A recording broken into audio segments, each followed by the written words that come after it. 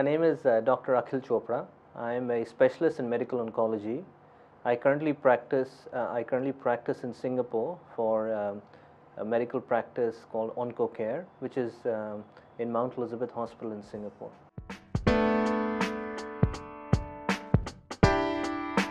So, just generally speaking, I think it's a great time to be an oncologist. Um, is due to the rapid exponential um, uh, growth in cancer research, availability of, of new treatments that benefit our patients, uh, and largely due to uh, availability of next gen sequencing of, of cancers that characterized cancers uh, based on the genetics, which has led this growth.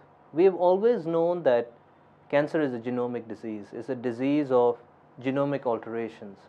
But due to certain limitations, technological limitations, um, we could never use that to target cancers. Uh, but since the uh, initial human genome project was completed and ne next generation sequencing technologies were available, uh, the, there has been rapid progress uh, in terms of targeted therapies for various cancer types. So I think uh, last five years we have seen the molecular characterization of cancer, something that, that we had never seen before. And treatment decisions based on individual uh, genomic profile of cancers, which is very unique. And, and one clear example is lung adenocarcinoma. Even when I was training to be an oncologist, which was not a long time ago, we only had chemotherapy to treat these cancers. And today it's, it's considered standard to check for at least four genomic alterations and treating patients based on the results of those alterations. So I think it's a very exciting time. And as the technology gets cheaper and more available uh, to oncologists all over the world, I think this is only, only going to improve in the next five years.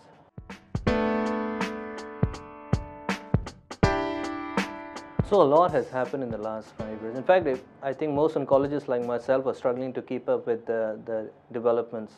Uh, again, uh, the, the major transformation has been uh, genomic characterization or molecular characterization of cancer and the availability of targeted therapies unique to the genomic alterations with the aim to improve the efficacy of the treatment and uh, also reduce the toxicity of the treatment and essentially benefiting our patients to live longer and with, good quality of life.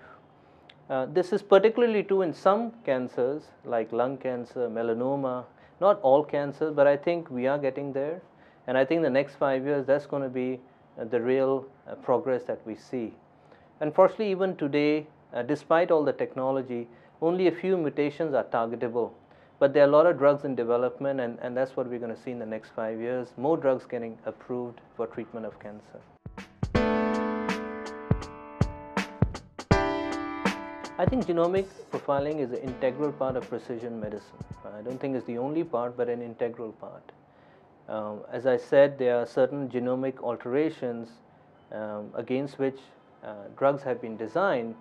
One example is the EGFR mutation in lung adenocarcinoma, uh, where we have specific drugs that target this mutation and, and lead to, to inhibition of the growth of the cancer and of course improvement in, in the symptoms as regards to the patient and prolonging their life. In fact, now we also know of resistance mechanisms to these drugs, and we have now second and third generation drugs that are available in the market. So it is really um, uh, gratifying for oncologists to be able to give these options to our patients that we didn't have before. Uh, but as I said, there's still a lot of work to be done. I think, uh, as I alluded to before, uh, not every mutation is targetable, uh, and not every uh, drug is accessible. There are a lot of drugs in clinical development, a lot of drugs that are only available through clinical trials, a lot of drugs that are still out of the, the reach for our patients because of cost issues. And we'll have to see in the next five years how this, this really uh, uh, comes to fruition.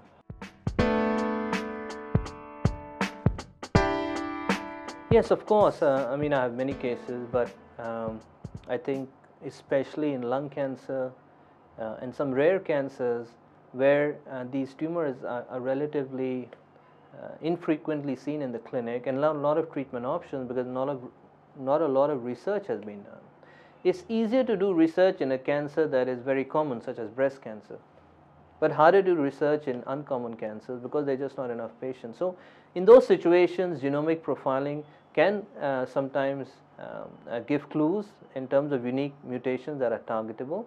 And I've had this experience um, uh, myself uh, over the past 5 to 10 years. And those patients would have not had any other option for treatment otherwise. In addition, there's a new uh, exciting treatment oncology called immunotherapy, um, which I'm sure you've heard about. It's unclear at this time uh, uh, to us as clinicians who are the right patients to, to treat with immunotherapy because it doesn't work for everyone and it's expensive. And ideally, as a doctor, I would like to know beforehand if my treatment is going to benefit the patient or not for, for a multitude of reasons. And uh, tumor genomic profiling can sometimes help answer that question. Recently, there has been uh, evidence and, and publications suggesting that the total mutational burden uh, of a cancer can help predict response to immunotherapy. And that's something that I have used uh, to help uh, guide my, my treatment decisions in patients.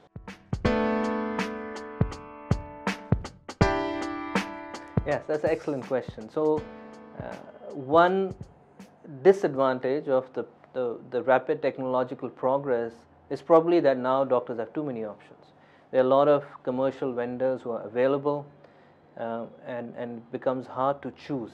So, one clear, one clear um, uh, uh mechanism to decide is cost. You know, uh, ex very expensive tests uh, are difficult to, to use routinely.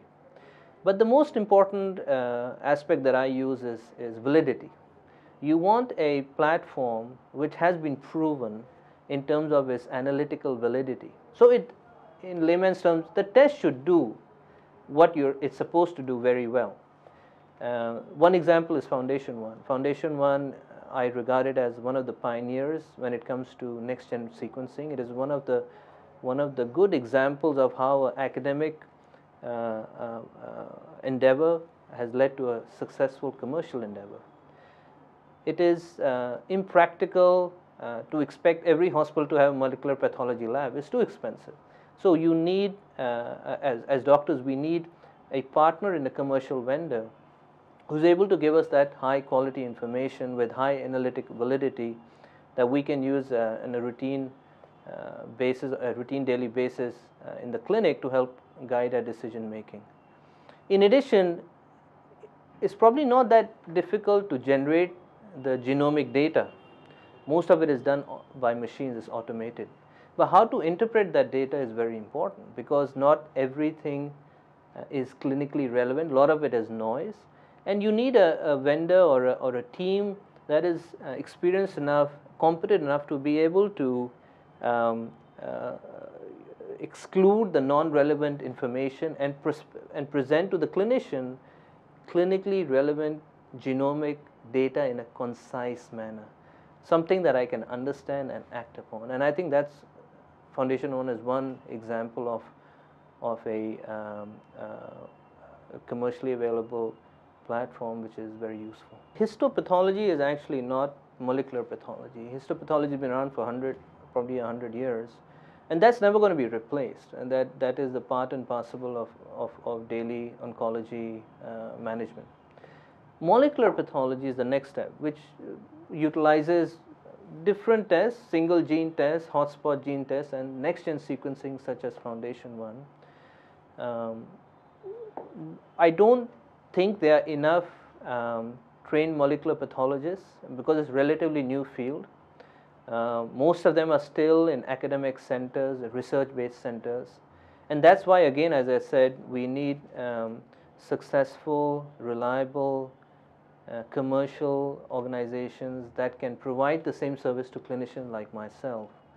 Um, so, so short answer is there isn't, and there's a lot of um, uh, training that needs to be done for bioinformatics and molecular pathologists because it's going to be a part of oncology.